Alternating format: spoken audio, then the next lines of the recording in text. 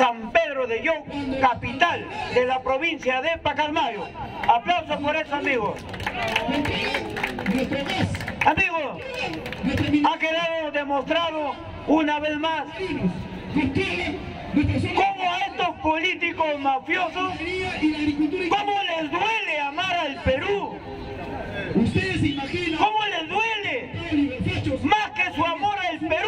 Están sus intereses mezquinos. Por eso es que gastan una millonada en sus campañas. Claro, el dinero no lo gastan ellos. El dinero lo gastan quién? Las grandes empresas transnacionales. Los narcotraficantes. Meten dinero ahí. ¿Para qué? Para tenerlo después a estos congresistas mafiosos como títeres,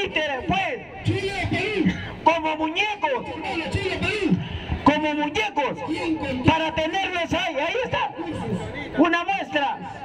Para muestra un botón. Ahí tenemos más de setenta y tantos congresistas sumergidos. ¿Sumergidos a qué? A sus intereses mezquinos. Ah.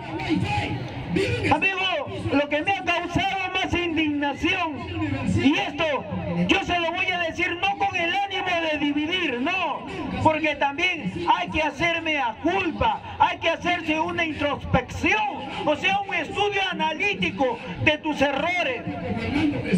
En especial el caso del señor Valdemar Cerrón.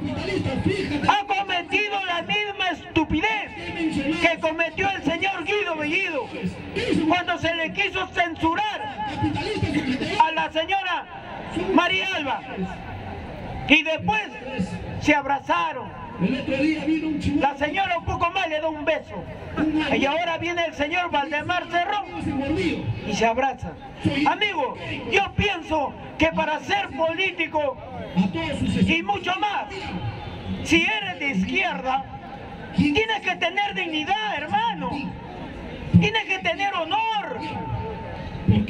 Pero ya sabemos que en el Perú nuestros políticos carecen de eso, pues. Yo tenía una fe, yo tenía una esperanza con este señor, este Valdemar Cerrón, pero se me vino así como una papaya madura, se me cayó. Y eso está mal, amigo. Hay que tener ética, hay que tener honor. ¿Ustedes creen que por qué Fujimori, cuando se presentó el gobierno al Congreso japonés, ¿usted cree que no tuvo ni el 2%? ¿Por qué? Porque los japoneses, su código de honor es eso, el honor, el honor. A pesar que Fujimori fue con todos sus millones y barras de oro al Japón, ¿ah? porque ya sabemos que ahí tiene pues todo lo que ha robado. Ni así le permitieron los japoneses que sea miembro de ese Congreso japonés. ¿Por qué? Por el honor.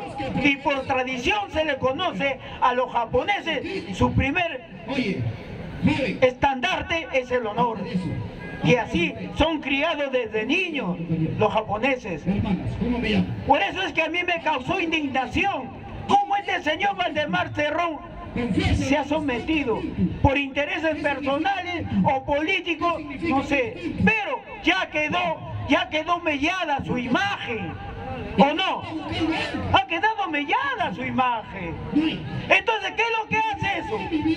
Eso, eso refuerza el sistema Oh, perdón. Eso refuerza la doctrina que van a promocionar los partidos de izquierda. ¿Refuerza eso debilita? Debilita, pues, amigo. Por eso hay que saber escoger. Hay que saber escoger porque no sabemos en qué momento van a cambiar su línea política. Yo me siento muy defraudado con el señor Valdemar Cerrón, muy defraudado. Y ojalá, ojalá que tenga la cara, la dignidad de venir acá a hora y pedir la disculpa del caso. Aplauso por eso, amigo. La cabeza que tiene el en el presidente en el Congreso. Amigo, hay una hay unas noticias que realmente les he estado viendo por las redes sociales y yo siempre le he dicho acá, amigo, el de arriba, el de arriba cuando te da, te da bien. ¿Sabe que la señora Susel Paredes le va a clavar una denuncia penal? ¿Saben a quién? A Beto Ortiz. O sea, entre diablos se van a pisar la cola o se están pisando la cola. Está el de arriba, hermano. El de arriba es bravo. ¿Y por qué? Porque dice que Beto en su, en su programa basura ese que tiene en Willax, ¿no? Que le ha difamado a la, a la señora Susel para. Yo, yo le voy a decir señora, ¿ya? Porque acá todavía no se da nada con respecto a la opción sexual. Le voy a decir señora, o bueno señorita, no sé en qué aspecto, bueno, señora le voy a decir, porque ya tiene su edad. Porque en verdad, en verdad acá no debemos burlarnos de la opción sexual. Siempre lo he dicho, amigo, acá no está para burlarnos de la opción sexual. Tú puedes ser gay, puedes ser lesbiana, pero hermano, o hermana, si, si tú tienes una opción sexual, eso está bien, nadie te... Pero si tienes una opción sexual, tienes que hacer algo por tu país. Sea de donde sea, de qué partido pertenezca, tienes que hacer una tienes que hacer algo por tu país. No haces nada por tu país. Tienes una opción sexual que todavía no está oficializado acá en el Perú, porque esta señora se ha tenido que ir a hacer su matrimonio en otro país. Pero no hace nada. Esta señora había presentado un proyecto de ley para que se reduzca los votos, para que pueda ser este vacado el presidente de la República. Una sinvergüenza. Es una sinvergüenza, Susel Paredes. Por digo porque el de arriba cuando da, da mire, entre diablos está que se pisan la cola. ¿Ah? Esa Susel Paredes con ese Beto Ortiz son la misma calaña. Porque están yéndose contra el pueblo. Amigos, hay otra cosita que también he escuchado por la red y he visto, porque el señor Quiabra, el general Quiabra, se ha pronunciado. Se ha pronunciado. ¿Y sabe para qué? ¿Por qué lo digo? ¿Por qué lo tengo que, que comentar esto? Porque el señor Quiabra ha sido un general de división del ejército. Este señor no ha sido un, general de, una empresa de, vigilantes, no, de nuestras Fuerzas Armadas. Lo mismo el señor Montoya, lo mismo el señor Cueto, lo mismo el señor general de división, William Zapata.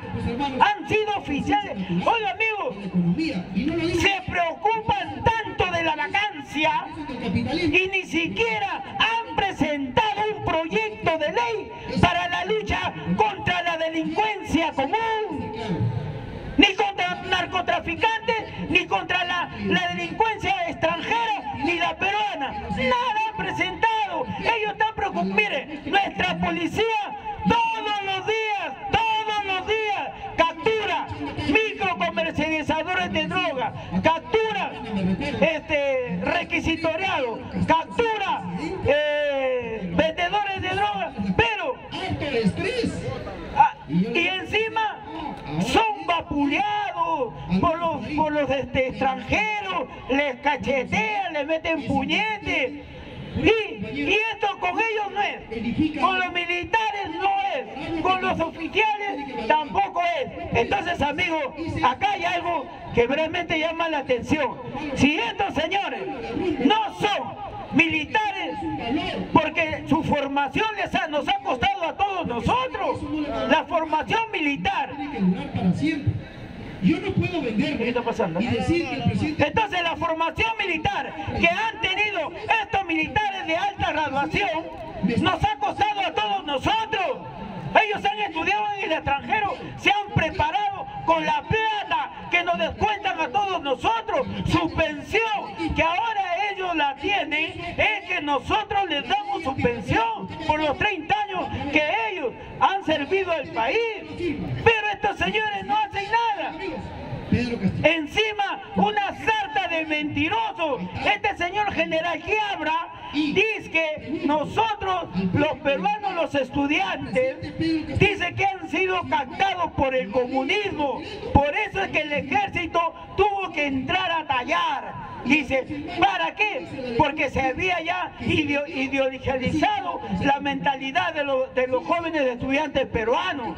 Amigos, lo cual yo te voy a desmentir, general que habla. Yo te voy a desmentir. ¿Ya? Cuando nace el comunismo, nace en el primer gobierno de, de Fernando de Terry, con José de la Puente y Uceda en Ayacucho, zonas abandonadas. ¿Ah? No nos vengas a engañar, pues, a decir que nacen los colegios. No, eso nace en Ayacucho.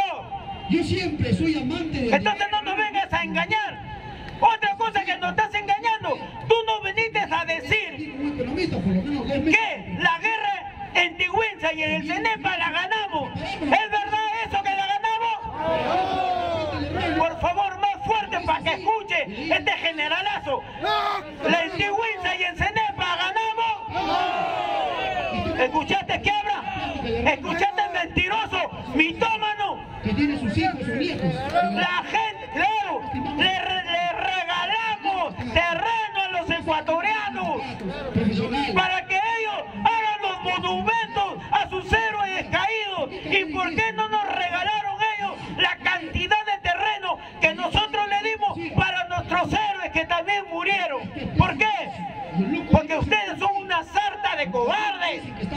Nunca le han ganado, son traidores. Nunca le han ganado a nadie. Encima, mira encima lo que tú dices. Por eso me incomoda. Ellos dicen, habla del comunismo. ¿Qué habla comunismo? Montoya sigue con su juguete del comunismo. Cuento lo mismo. Zapata, los cuatro militares de alta graduación que tenemos en el Congreso, comunismo. Muy bien, les voy a dar el principio de la duda. Muy bien, que existe el terrorismo ya. Les vamos a creer. Y dígame sin vergüenza, dígame así, ¿por qué cuando hubo la última matanza en el BRAE y ustedes dijeron públicamente que fue sendero luminoso y cuando se quiso crear una comisión en el Congreso para que investigue la matanza del BRAE, ustedes se opusieron, Avanza País, Renovación Popular y Fuerza Popular se opusieron para que se investigue la matanza del BRAE. ¿Por qué se opusieron? Aplauso por eso, amigos. Mafioso fue. Los mafiosos. ¿Saben que ellos tienen sus terroristas a delivery? ¿Ah? ah, ay, qué lindo sería.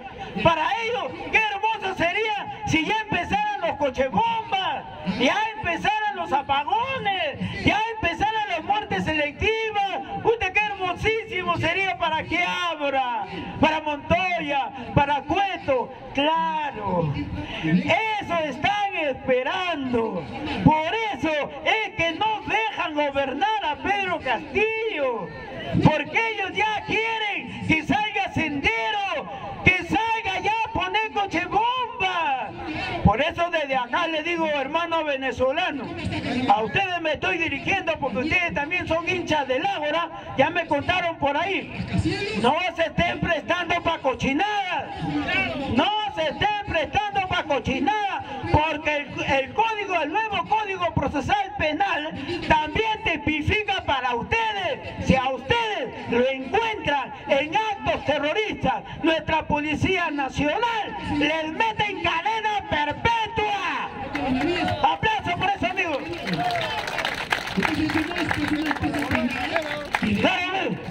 Claro, por eso querían meternos más venezolanos, pues. ¿Ah?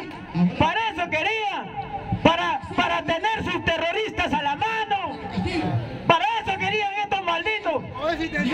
Claro. Oiga, si ya, antes que vengan los venezolanos, ya teníamos ladrón, el choro, micro, microcomisario, ya teníamos puta a diestra y siniestra. Amigos, lo que hicieron fue acrecentar más la delincuencia común, la prostitución.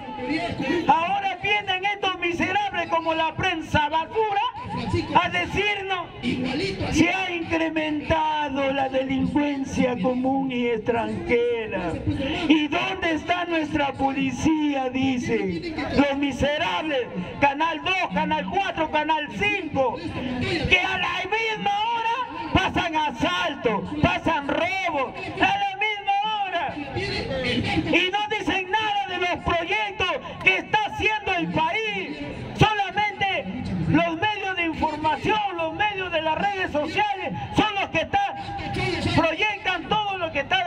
nuestro presidente, pero esta prensa basura no, claro.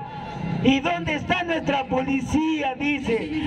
Oiga, alcahuete, oiga, apristas, ustedes que fueron los principales alcahuetes con los fujimoristas, ah, ustedes que fueron cuando en la casa del pueblo no tuvieron casi seis meses comiendo desayuno, almuerzo y cena a los venezolanos. Ahí no está Jorge del Castillo que decía, bienvenidos hermanos venezolanos. Las puertas están abiertas. Lo mismo decía Keiko. Y cuando empezaron a robar, a matar, ¿qué decían los mermeleros de los medios de, de comunicación?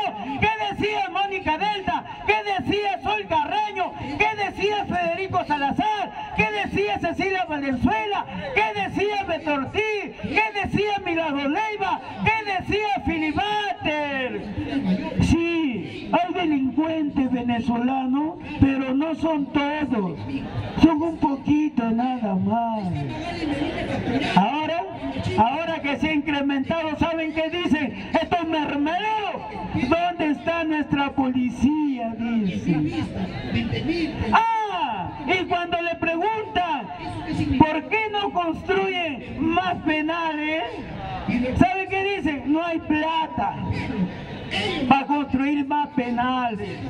Así, pero sí había plata y sacaron 11 mil millones de dólares del Fondo Monetario Internacional para darle más plata a las empresas basuras, a los bancos, a los canales de televisión, 2, 4, 5, más de 50, 60 millones de dólares para el programa Reactiva Perú. Ahí están las empresas agroexportadoras que también se recibieron su chancay, recibieron su plata de la torta de ese billetón que sacó Vizcarra de allá. ¿Para qué? Para apoyar a la prensa basura. Y después la prensa basura le metió un puñal a Vizcarra. ¿ah? ¿Y ahora en qué se quedó Vizcarra? Ahí, denunciado, enjuiciado. Amigos, les voy a leer este, este informe porque es importante que ustedes lo sepan y ustedes también amigos del extranjero, amigos de YouTube y los hermanos que están en el extranjero. Por favor, una persona que me pueda ayudar acá con el micro.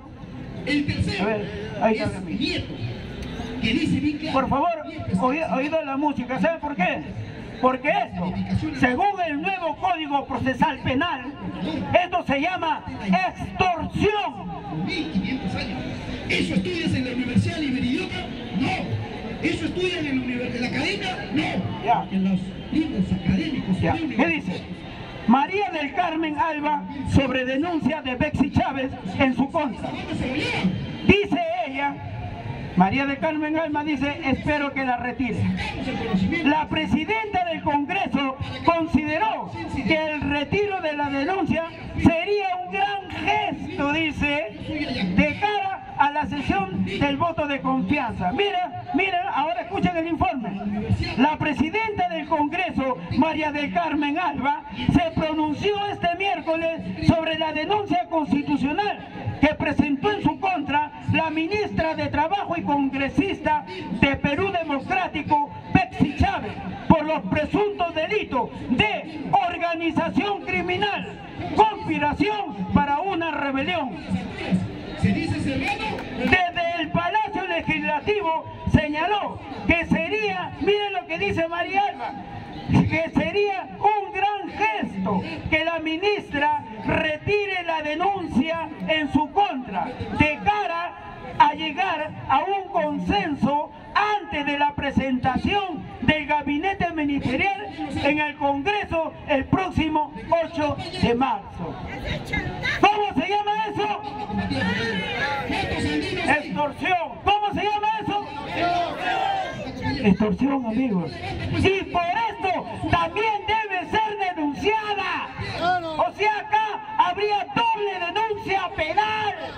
No es una denuncia política, es que coaccione, presione, intimide a un funcionario público para que se restrinja de denunciar estos delitos, se llama extorsión y está tipificado en el nuevo Código Procesal Penal. Aplauso por eso, amigos. Entonces, yo soy de la idea, hermano, que no se retire, no se retire la denuncia. ¿Por qué no se puede retirar? Porque si se retira la denuncia, automáticamente esta, esta congresista se estaría pues sometiendo a María del Carmen Alba. Pero sí, ya lo dijo la señora Bexy Chávez, que no va a retirar la denuncia. Aplauso para eso, amigos.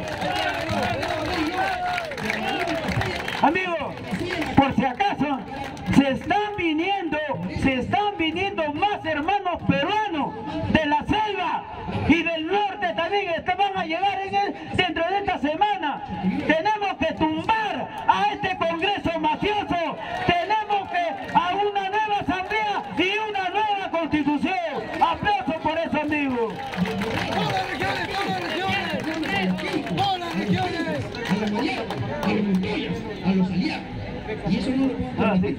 Amigos, están perdidos.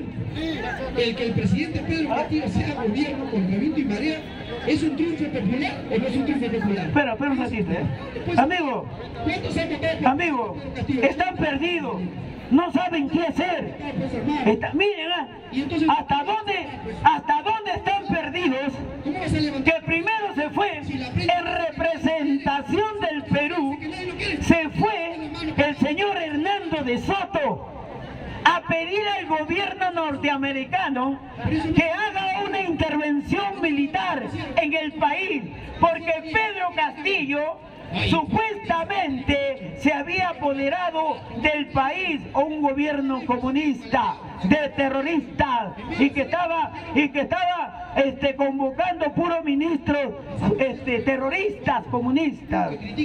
Como le salió el tiro por la culata mandaron enviaron a la gran erudita política peruana Patricia Chirino ¿Qué? A expresarse lo que ella siente por su país o lo que ella tiene en su cerebro. ¡No! Le mandaron con una hoja en blanco, con una hoja ya escrita. La enviaron a la señora Patricia Chirino. ¿Para qué? Para que ensalce el gobierno peruano. Para enseñar. No, para desproticar del gobierno peruano. Cierre contrato. Por eso, amigos, hay otra congresista que no me, si no me equivoco, es de Perú Libre, que también está denunciando por el delito de injuria grave y difamación a Patricia Chirino. ¿Por qué? Aplauso por eso, amigos. ¿Por qué? Porque la señora, oiga, pero que son tan burros, que esta bestia, esta mujer, discúlpeme, discúlpeme, las damas, las señoras que están presentes en esta reunión, pero ¿por qué? Él dice, dicen que no se puede hablar de una mujer mal, ¿no? Yo no voy a hablar mal, además no voy a hablar de una mujer cualquiera, no. Por si acaso. Patricia Chirino es congresista de la República, de nuestro país. Segundo, la señora Patricia Chirino es empleada de todos nosotros. Nosotros le pagamos su sueldo. Entonces, no es cualquier mujer. Madre, señorita, no se sientan ofendidas que con ustedes, a ustedes no va dirigido este, esta mención. A esta señora, a esta sinvergüenza que habla de terrorismo, que habla de incapacidad moral del profesor Pedro Castillo, oye sinvergüenza, me voy a dirigir a ti, Patricia Chirino, tú no eres nadie, tú no representas a nadie, no sé quién diablo te envió con ese papel a hablar allá en Estados Unidos. Aplauso por eso, amigos.